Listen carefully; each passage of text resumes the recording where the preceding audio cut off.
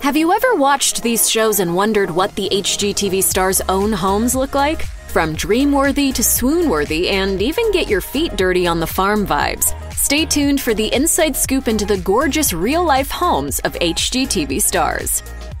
Tarek El Moussa of Flip or Flop has had some amazing homes. There's the 6,300 square foot Yorba Linda, California house he and co star and now ex wife Christina Haack spent $1.5 million renovating, and his so called bachelor dad pad in Costa Mesa, California. In 2020, the HGTV star and his current wife, Heather Rae El Moussa, purchased an oceanfront home in Newport Beach, California, which they share with Tarek's kids from his marriage with Haack. Interestingly, the couple didn't intend to live in the house, the couple's rep told People magazine. Tarek originally bought it as a flip, but then they decided to make it their new home. They showed off the rooftop deck with stunning views on Instagram, and in a 2021 episode of Flipping 101, the newlyweds showed off even more. The gorgeous black and white kitchen, family room with statement fireplace, and elegant dining room with wine cooler. Christina on the co star Christina Haack has also done her own real estate shopping. In 2021, the HGTV star laid out $2.5 million for a modern farmhouse in Tennessee, which she absolutely fell in love with. The property sits on 23 acres and includes a front porch with a swing, shiplap, wood beams, and a pool. In 2021, she sold the Newport Beach, California home she formerly shared with now ex husband Ant Anstead for $6 million.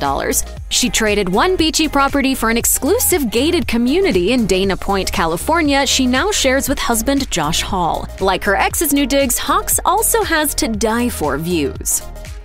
We're used to Property Brothers star Jonathan Scott rehabbing homes alongside twin brother Drew Scott, but this time the HGTV star has a new renovation partner, girlfriend Zooey Deschanel. In January 2022, the couple announced that they were moving into the Brentwood, California home they bought in July 2020 for $9.5 million after months and months of renovations. In the July 7th issue of Scott's magazine Reveal, the Property Brothers star shared about the first time they laid eyes on the 6,300 square foot colonial style house Scott described the home as, quote, magical and its front lawn as lush. The one acre property features five bedrooms, eight bathrooms, a swimming pool, tennis court, guest house, and gazebo. Inside is a sunny kitchen, study, sunroom, French doors, and primary suite with the second of two fireplaces.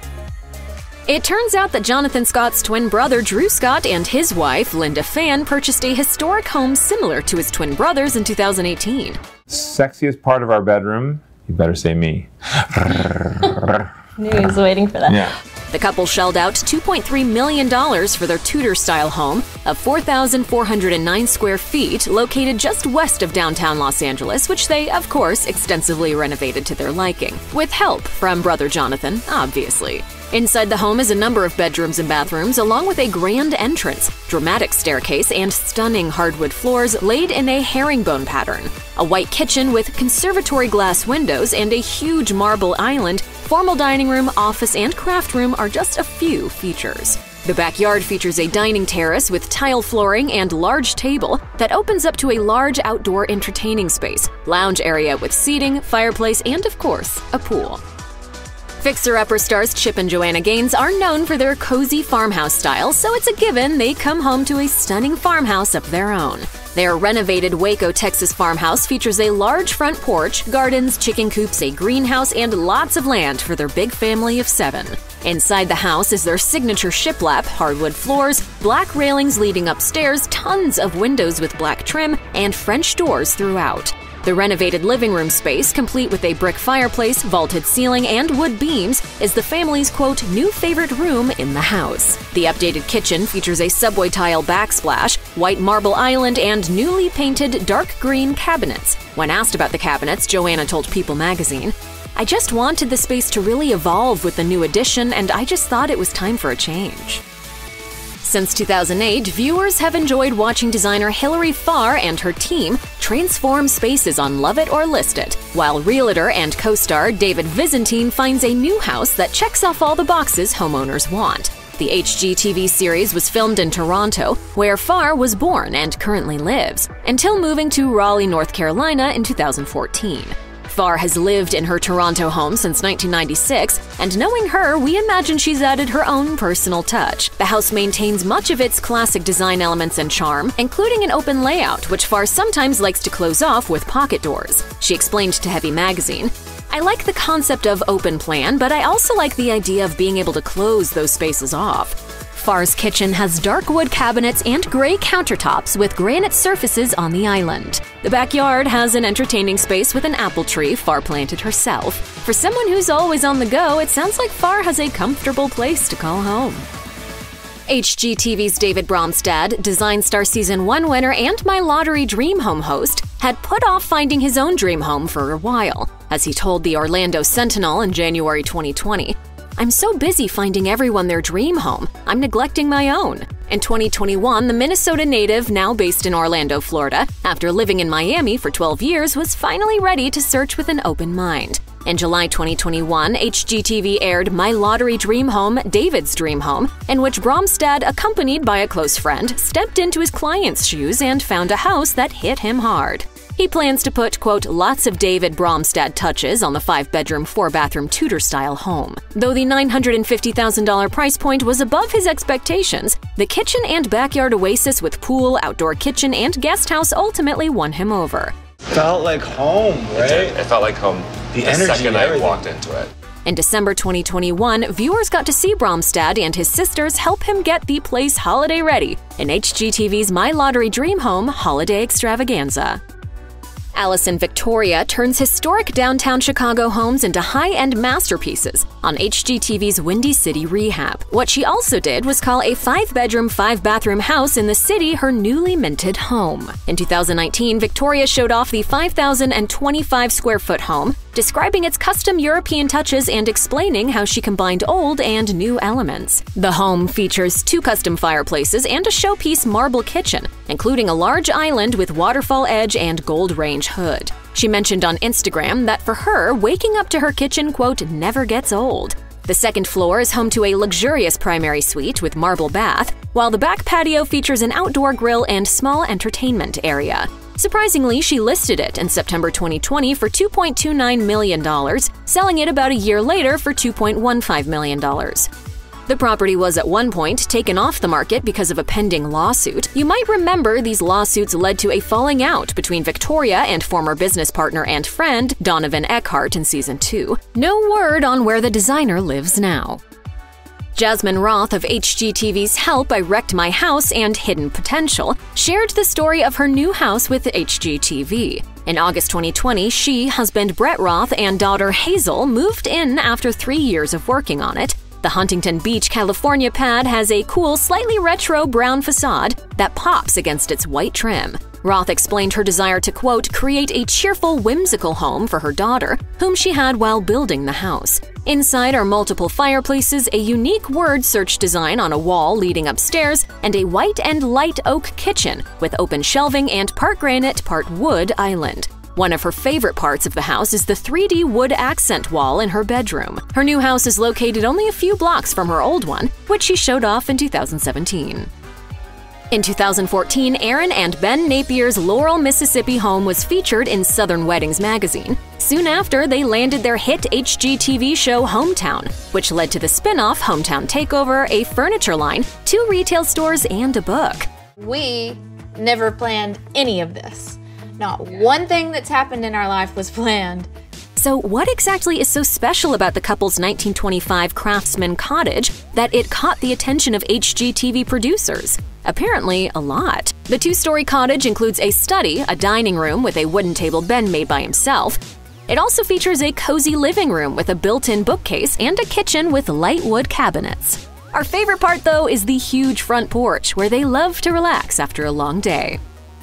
In 2018, Mina Starsiak Hawk, star of HGTV's Good Bones, was ready for a larger home for her growing family with husband Stephen Hawk. So they bought the empty lot next door to their house in Fountain Square, the neighborhood in Indianapolis, Indiana, where they renovate homes. Mina talked to HGTV about the purchase, sharing, The neighborhood is our home. I really can't imagine living anywhere else. The three story, 2,900 square foot house was inspired by the couple's love for Charleston, South Carolina. It features architectural details like big columns, large balconies, porch fans, and black iron fencing. The main floor features engineered vinyl plank flooring with herringbone design, turquoise velvet dining room chairs, and a white marble kitchen with an island, stainless appliances, farmhouse sink, and a custom range hood. Upstairs are several bedrooms, including the nursery and primary suite. Plus, there's a gym, office, doggy spa, and a backyard with lounge and dining spaces. So, what's Stephen Hawk's opinion on the renovations? He shared this with HGTV. I feel like she thought of every detail. It's perfect. Surprised to see Jonathan Knight of New Kids on the Block hosting Farmhouse Fixer on HGTV? You're not alone. However, Knight is not new to country life. In fact, he grew up on a large property with lots of animals. After New Kids on the Block split up in 1994, Knight started his foray into flipping houses after a friend asked for his help. Now he fell in love and has a show to live up his new obsession with house flipping. When not touring with NKOTB, Knight lives on his Massachusetts farm, adding, my mom had a two bedroom farmhouse and couldn't care for all the land anymore, so we snatched up her house, then bought two across the street. Mom's in one, and my sister's in another. The compound also includes a restored 1700s era barn, used for family gatherings, greenhouse, and gardens. The house where Knight resides with longtime partner Harley Rodriguez has dark hardwood floors, deep blue walls, and a white kitchen with windows galore. Designers Nate Berkus and Jeremiah Brent moved from New York to Los Angeles in 2015. Here, they purchased a six bedroom, seven bathroom, 9,000 square foot historic Spanish colonial. After moving in, they updated the home with antique marble flooring and new kitchen surfaces and fixtures, among other updates. Only two years later, they sold it for $11.5 million and headed back to New York. According to what Brent told Architectural Digest, it didn't feel like us. They eventually settled in a 3,400 square foot West Village townhouse. Some standout features of the home include the two story white oak bookcase, kitchen with exquisite Calacatta marble surfaces, and a master dressing room. In 2021, People magazine confirmed the HGTV stars were moving yet again. They sold the place for $13.5 million and repurchased a Fifth Avenue NYC townhouse they sold back in 2015. While still early, we expect they'll work their designer magic again. Like, one chapter ended, a new chapter is starting, but it's been good to us here. In 2017, Scott McGillivray shared a tour of his then brand new Canadian digs to country living. The glam house includes a spacious personal bar and wine cellar, two story living room with fireplace and tall windows, and primary bedroom with balcony, sitting area, fireplace, luxurious bath, and spacious walk in closets. Other notable features are the workshop, home theater, and DIY penny floor in his home office. McGillivray wrote in his blog that he couldn't be happier with the space, saying, I'm in my dream house, in my dream neighborhood, with the people I love the most. Fixer to fabulous stars Dave and Jenny Marrs were new to home renovation in Arkansas when they toured an old farmhouse in desperate need of a facelift. Five kids, a blueberry farm, and an HGTV show later, they've firmly established their roots and love helping others experience the same joy. The farmhouse later underwent another renovation after expanding their family again. The new renovations include a new laundry room with gray cabinets, reconfigured kitchen, remodeled guest bathroom, and nursery. We also shouldn't forget to mention it also showcases a large screened porch and a variety of animals. Check out one of our newest videos right here. Plus, even more list videos about HGTV stars are coming soon. Subscribe to our YouTube channel and hit the bell so you don't miss a single one.